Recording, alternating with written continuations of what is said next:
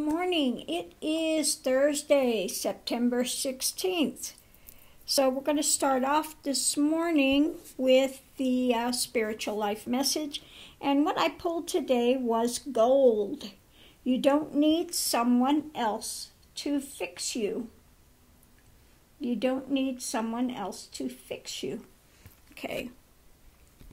So, yeah, this is about the journey. You know, we each have to make our own journey. And uh, this is, again, the journey I teach.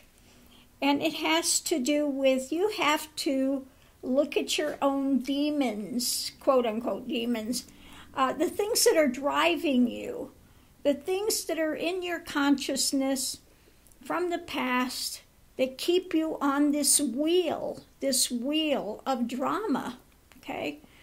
So that's why the, the path is about, you know, this self inquiry, finding out who and what you are, and just as importantly, what you're not. You're not those driving things of negativity which keep you spinning, spinning, spinning in these cycles. Okay?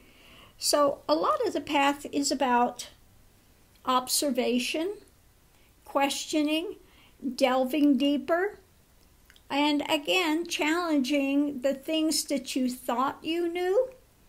Okay, and in the end of the journey, you find out that um, really the illusions that one held were um, simply that illusions. Okay, um, they were the drama that one would hold to, feed, substantiate, give life to. Okay, so, a lot of the journey is this journey of a self inquiry. And so, how does Kundalini fit into that? Because usually people think of Kundalini as doing pranayam, heavy fire breathing, you know, trying to awaken it, focusing on, on areas in the bodies and chakras and all of this. Well, no. That's not the Kundalini journey that's taught here. Contrary to what some may believe, quite falsely, the journey here is about self inquiry. Okay? Breaking down those walls of feeling of separation, how to expand, how to come into alignment with the universe, okay? How to question what's coming up, coming to a point of witness state where you have a buffer zone so you can witness and question what is coming up and what you're doing as you're doing it. Okay? So the witness state gives you a buffer, a buffer zone, so you can question. Now, I always use my own life as an example. I remember, you know, back when I was in witness state, going through that, that I was doing something and I got really upset about something and I'm just going off and and I'm watching it at the time, witnessing it, going, "Well, that's pretty stupid," you know. and all the time, the body's still going, you know. and at the same time, witnessing it from the higher perspective, going, "Well, now that's pretty stupid. What is that accomplishing?" Okay. So then, you know, it's it's like being at first it feels a bit schizophrenic because at the same time you're witnessing what you are doing, yet you have some removal from that situation where you can examine it and question it. So that's the benefit of coming to witness state. Now, to get to witness state where one can begin to question, so you can fix yourself, quote unquote, but there's nothing really to fix because what you have to find out is not that you're going to make that better, but that that was false to begin with. Okay? So this is a, a process of like peeling an onion. Okay? you've got the outer layers of your soap opera, whatever it may be that you go on about, okay, that you fight with, that you, you know, uh, you hold to or fight with, or whatever the case may be. And you go layer by layer inside. So the process is coming to enough stillness, enough presence, enough being in the moment that you can see what's happening in the moment so you can question it rather than cycling to the past or projecting into the future. Okay? Because you can't analyze anything when you are caught up in some past drama that you want to continue to fantasize and, and play over it over and over again. You know, eventually you'll get tired of running that movie and decide it's time to move on, time to move forward. Okay? So again, the path is about, you know, not somebody else going to somebody else and expecting them to wave a magic wand and fix you. Okay? Because the fix is to find out what is prior to whatever it is that's happening that needs to be fixed. Okay? So, again, part of the path is, again, starting to live from honesty, integrity, transparency, sacredness, and simplicity. That's the very first step to, to start to live from that. Okay? So if somebody is in constant liar mode, you have to be willing to let go of the liar mode, even though it works to to you know pad your ego or keep it safe or whatever it is you're using it for. Okay, has, that has to quit. It has to stop. Okay, so you start to transition into honesty, integrity, transparency sacredness, and simplicity. And you'd be surprised what just entering into those, living from a life of sacredness, seeing what you are doing as sacred, where you are as sacred. Okay? Don't pollute your temple. Understand you're a temple. So don't pollute it with lies and, and you know uh, you know putting alcohol or whatever pollution is in there. You're going to clean up your act, okay, to begin with. Then you start going forward, and there are um, practices, things you could put into place to help to still the mind, calm the mind, learn how to be in the moment, okay? How to start breaking the barriers down so you don't feel separated and isolated from Gaia, from um, from the universe, from the universal flow how to break down those barriers and expand, start to open that heart. Next thing is you have to open that spiritual heart. Once that's open, once the spiritual heart is open, then one can go into this bliss state. And it's very overwhelming the first time you start to open that heart and you feel at one with the universe.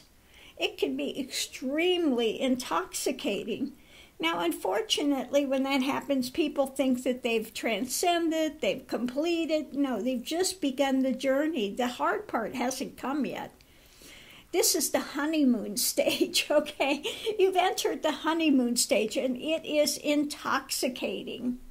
You are in love with everything and everyone, and you know, and this goes on for some time. You have that bliss, that opening, that, you know, from there, then one moves into witness state. Okay? You are observing yourself in the moment. There is that state of observation, that buffer zone, so that you can see what's happening, you can question it, you can look at it on a deeper level as it's taking place. Okay? So again, there's a feeling at that point, you've gone from this bliss, this state of just overwhelming intoxication and bliss, into this feeling of sometimes you feel like I'm here and I'm not here, sort of thing, you know, because you've got a buffer zone that's taking place so that you can witness what's taking place and you can start to question it. From witness state, you can sit there and you do your meditation. You can do open eye meditation. It doesn't mean sitting there with your eyes closed. That, that, that's not what I'm talking about. You know, whatever you're doing, action in life can also be a meditation.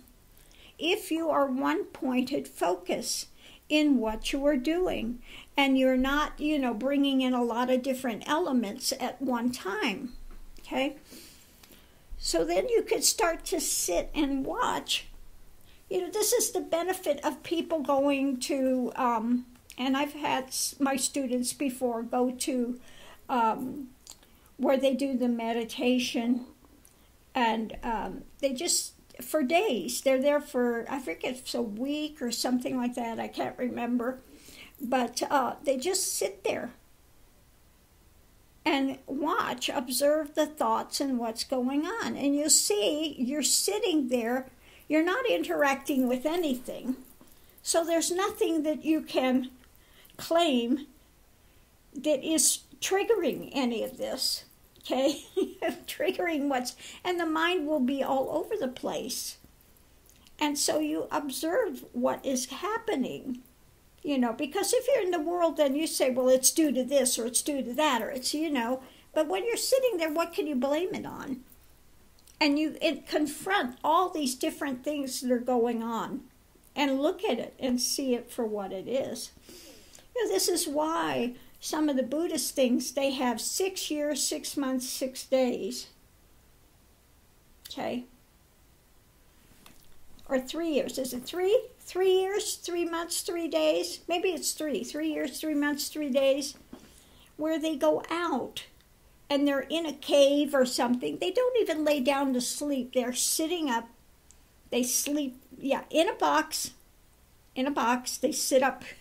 they sit up at night and they are so what is the benefit of that because when you're out there there's nothing there you're having no interaction with anything the only thing you're there with is yourself your mind the thoughts the dramas okay and so one either confronts it because you can't keep running away from it and this is why some people are so they don't want to be alone because they don't want to confront their thoughts. They're always trying to do something to distance themselves from.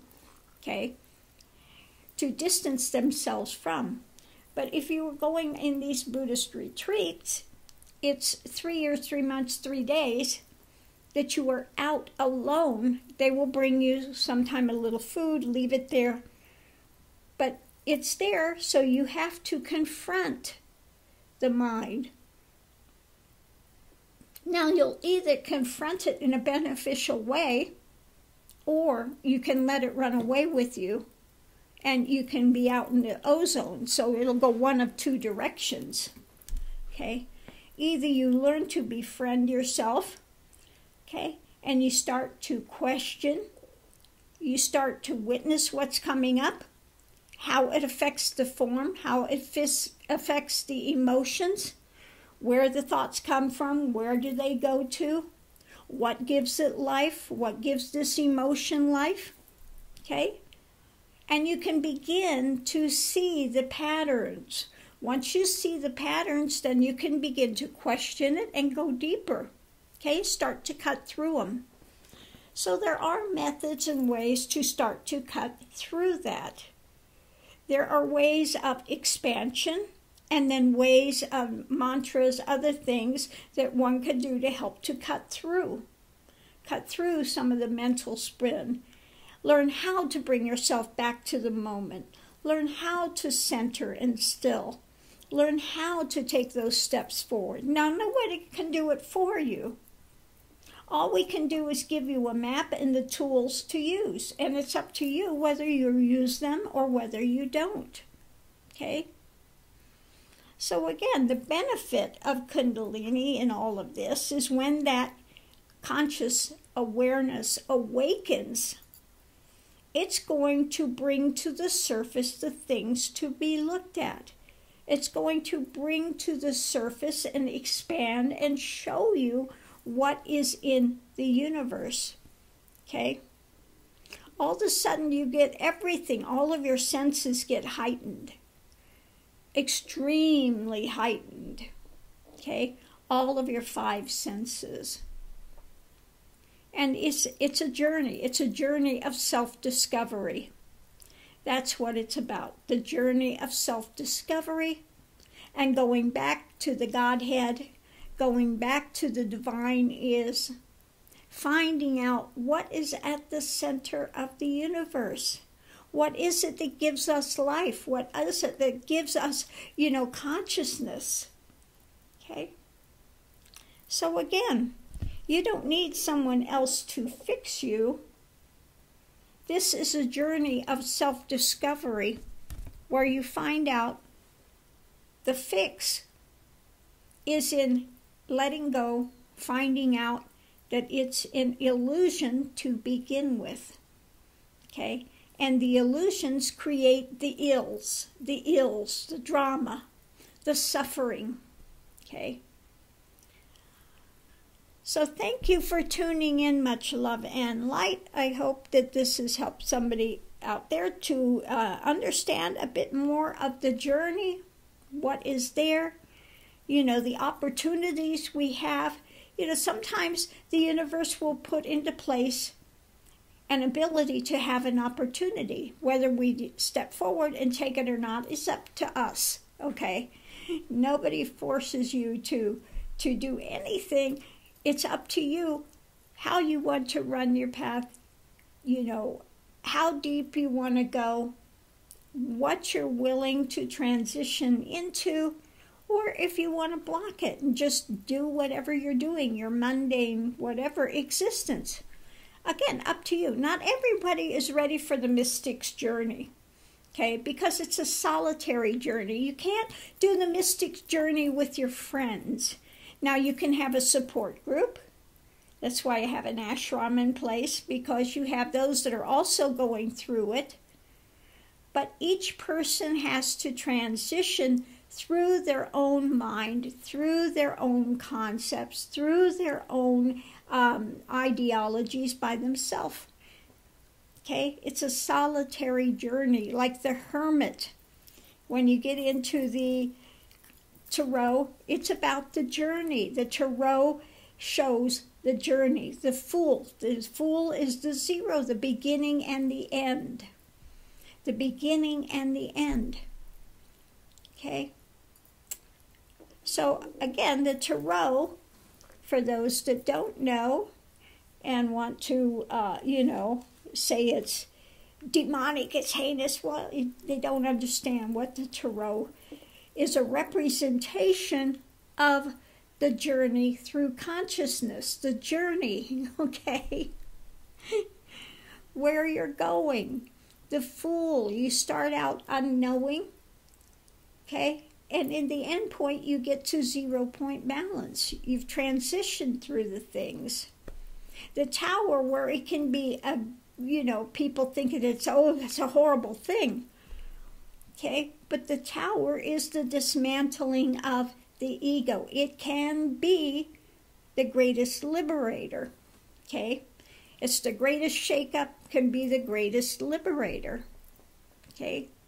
The devil has to do with ego, ego endeavors, and things that one is, you know, uh, bound by. Okay, the things that one is, uh, you know, uh, like addicted to, an addiction that is driving them, driving negative behaviors, driving negative. Okay, so people that don't understand the tarot want to make it into something that it's not because they they don't understand it okay they don't understand what it is what the journey entails you know some get involved in tarot because they want to understand the journey okay so you have the cards and you contemplate each step of the journey as it unfolds what's the start what's the finish, what are the things that one transitions through along the way. Okay, first thing is you want things magically. You want to be, you know, a lot of people come into the journey, and what's the first card after the Fool? You have the Magician. They want personal powers. They want to be able to control. They want to be able to magically spin things. okay? Then they go for what? I, I want to know the secret. I want to know the hidden things. I want to know, you know. So they start out with wanting the personal powers, wanting the, you know, the, those types of things. Okay? And in the end point, you find out it was not about those things. It's not about personal powers. It's not about being able to control. It's not about that stuff. Okay? That one has to, again, release those types of things. Okay? So thanks for tuning in. I hope somebody has gotten something from this of benefit.